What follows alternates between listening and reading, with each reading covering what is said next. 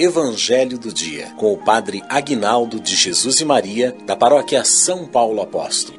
Ai de mim, se não anunciar o Evangelho. O Senhor esteja convosco, Ele está no meio de nós.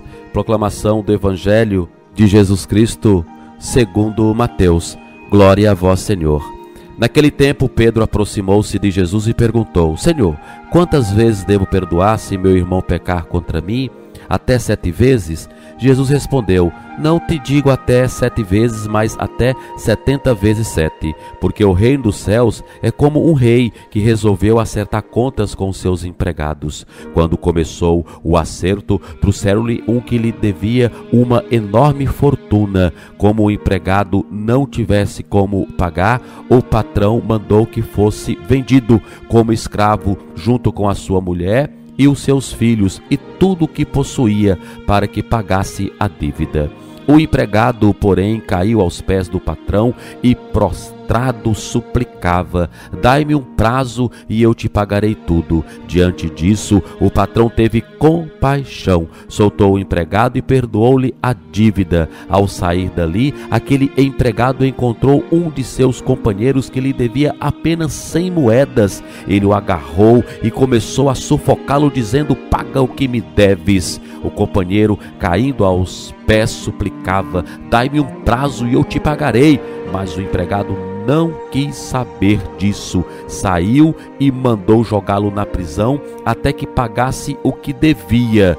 Vendo o que havia acontecido, os outros empregados ficaram muito tristes. Procuraram o patrão e lhe contaram tudo. Então o patrão mandou chamá-lo e lhe disse: Empregado perverso, eu te perdoei toda a tua dívida porque tu me suplicaste. Não devia tu ter compaixão do teu companheiro como eu tive compaixão de ti? O patrão indignou-se e mandou entregar aquele empregado aos torturadores até que pagasse toda a sua dívida.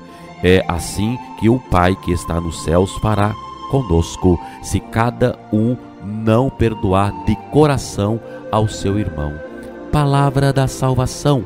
Glória a vós, Senhor. Que a palavra do Santo Evangelho perdoe os nossos pecados em nome do Pai, do Filho e do Espírito Santo. Amém. Amados, que evangelho bonito, não é? Nos faz refletir sobre a misericórdia de Deus. E Deus é assim. A gente reza no Pai Nosso. Perdoa, Pai, os nossos pecados, mas também a gente promete para Ele, assim como nós perdoamos a quem nos tem ofendido, não é? Então nós buscamos o perdão de Deus, nós buscamos a misericórdia de Deus, mas muitas das vezes nós não temos força e nem buscamos ter para perdoar aquele que nos ofendeu. É difícil? É verdade, é difícil. Concordo tem situações que são muito difíceis, é verdade, mas nós temos que tentar. Nós não podemos deixar o rancor se instalar em nós, o ódio, o ressentimento, porque só vai fazer mal para nós, só vai fazer mal para você. Então entenda uma coisa, eu sempre digo para vocês, não é? O nosso telhado é de vidro viu? O telhado do teu irmão é de vidro, você sabe disso. Se você jogar uma pedra, você vai quebrar o telhado dele sem dúvida nenhuma. Mas cuidado, se ele pegar uma pedra na mão, ele pode jogar no teu telhado e o teu telhado também pode quebrar.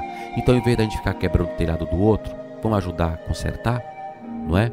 Pense nisso, a misericórdia. E outra coisa, amados, não é? Quando a gente fica com esse ressentimento, com esse ódio, não é? Só vai fazer mal para a gente mesmo. Isso vai te causar uma úlcera, isso vai te causar uma enfermidade. Tem doenças que o médico não consegue diagnosticar e muitas delas, sabe o que, que é?